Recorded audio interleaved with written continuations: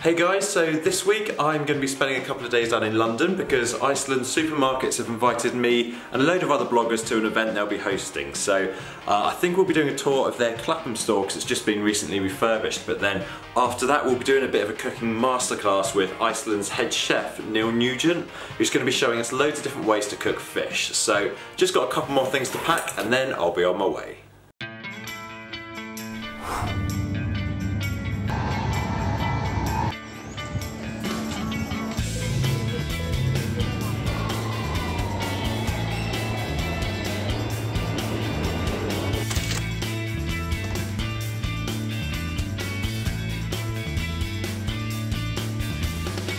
Okay guys, so I've made it to the hotel. I'm staying at the Windmill Hotel in Clapham and it's class.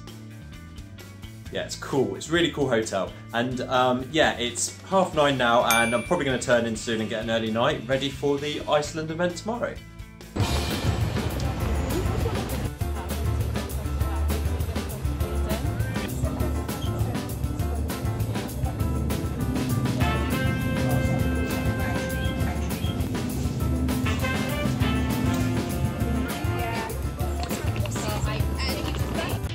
Hey guys, so we're now in Cactus Kitchens, which is where Saturday Kitchen is filmed, and Neil Nugent is just cooking us all some food upstairs right now.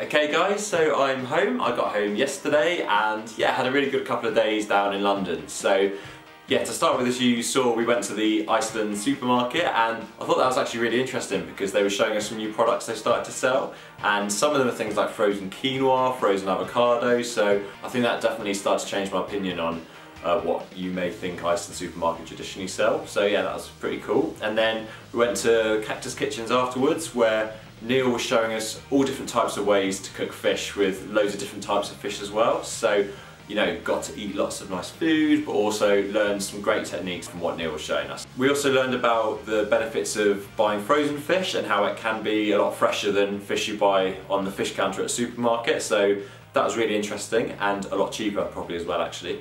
And yeah, and it's always great to meet new people like other bloggers at these events as well. So yeah, thanks to Iceland for inviting me and yeah, it was a really good day. And if you enjoyed watching this vlog, remember to give it a thumbs up and if you're not subscribed, hit the subscribe button because you'll then be notified when I upload new vlogs and recipes and things like that.